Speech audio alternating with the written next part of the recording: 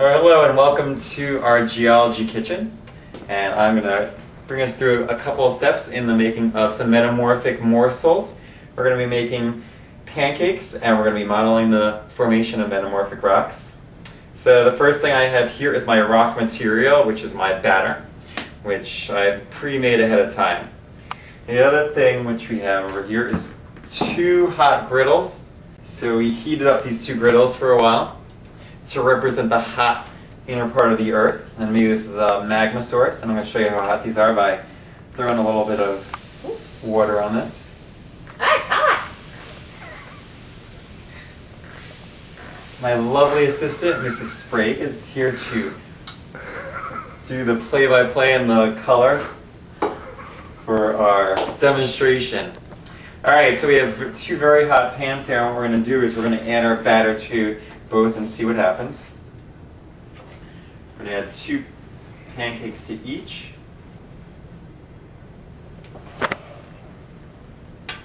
Just going to imagine it's Saturday morning and you're watching cartoons and you're making pancakes.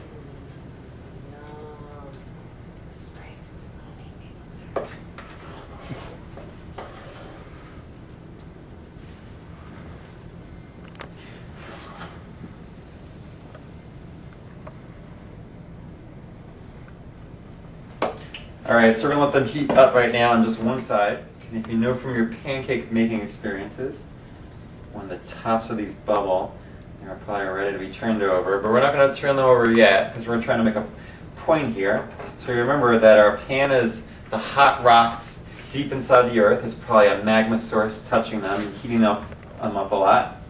And we only have one part of our rock material which is touching that, the bottom side. So I'm going to go out to this one on the right here. I'm going to peel it up a little bit now. I can see what's happening to the underside of our rock. That's touching our hot rock or our magma source below. Uh, we can take a look at the one over here too. And we can see that change has happened, but we can see it's only happened to one side of our pancake. Okay, now what we're going to do is we're going to turn over pancakes here we have a fire.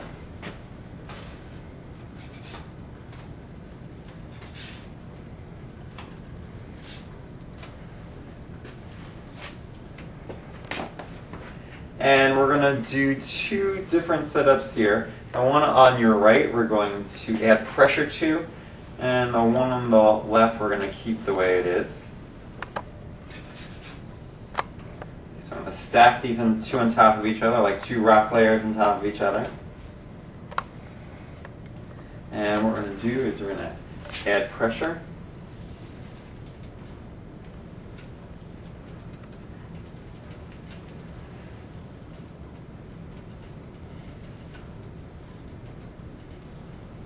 Now we're going to see what happens as a result.